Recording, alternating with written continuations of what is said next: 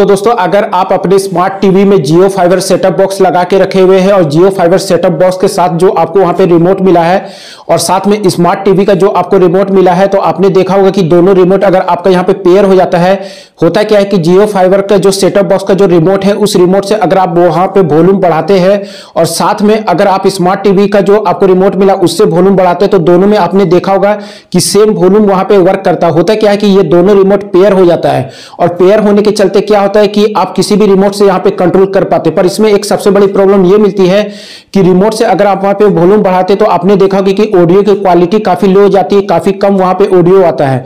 तो ये दोनों रिमोट अगर आपका यहाँ पे पेयर हो गया तो उसको कैसे अनपेयर कर सकते हैं, वो मैं आपको इस वीडियो में क्लियर करने वाला हूँ। तो दोस्तों, इस वीडियो को पूरा देखिएगा, अंत तक देखिएगा। वीडियो अच्छा लगे तो चैनल को सब्सक्राइब लाइक और शेयर ज़रूर कर दीजिएगा। सबसे पहला काम तो आपको क्या करना है कि जियो सेटअप बॉक्स को स्मार्ट टीवी से कनेक्ट कर लेना है और जियो सेटअप बॉक्स का जो रिमोट है, उस रिमोट को आपको यहाँ पे निकाल लेना है। साथ में आप यहाँ पे देख सकते हैं, मेरे पास टीवी का रिमोट है और ये दोनों रिमोट यहाँ पे पेयर हो चुका है। पेयर होने के बाद क्या प्रॉब्लम मिलती है, वो मैं आपको दिखा देता हूँ। जैसे आप जियो सेटअप बॉक्स से वॉल्यूम को बढ़ाइएगा तो आपको यहाँ पे स्मार्ट टीवी वाला ये जो वॉल्यूम का इंटरफेस यहाँ पे देखने को मिल जाएगा।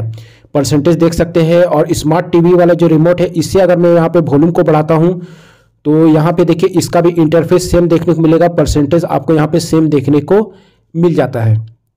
मैं आपको एक बार फिर से यहाँ पे दिखा देता हूँ। ये दोनों रिमोट का अगर वॉल्यूम को मैं यहाँ पे कंट्रोल करूँगा तो सेम यहाँ पे परसेंटेज बढ़ता है। दोनों का यूआई में आपको कोई भी चेंजिंग देखने को नहीं मिल रहा है।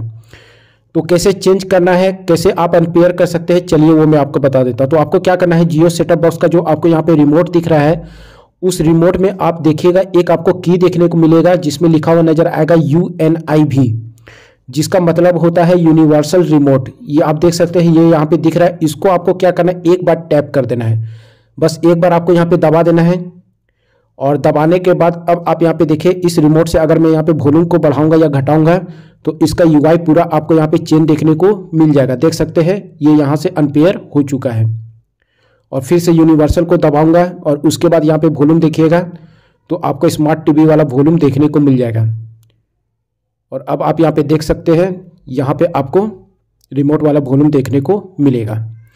तो दोस्तों, वीडियो कैसा लगा हो कमेंट करके ज़रूर बताइएगा। वीडियो अच्छा लगे तो चैनल को सब्सक्राइब लाइक और शेयर ज़रूर कर दीजिएगा।